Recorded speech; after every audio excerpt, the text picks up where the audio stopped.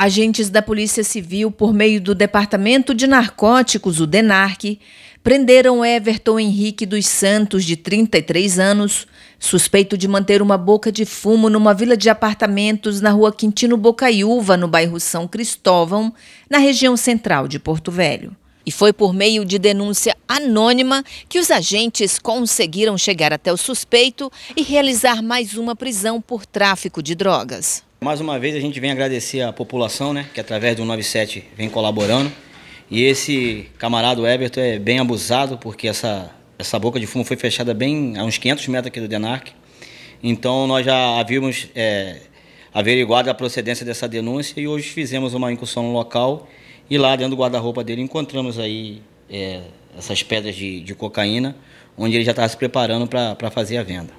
Durante a averiguação da denúncia, os agentes confirmaram que o movimento de usuários de droga era intenso na vila de apartamentos. Eles observaram e, no momento certo, realizaram a prisão em flagrante. Com Everton foram apreendidas quase 200 gramas de cocaína oxidada, uma balança de precisão e material para endolar a droga. Ele já respondeu anteriormente pelo crime de tráfico de drogas e está novamente à disposição da Justiça.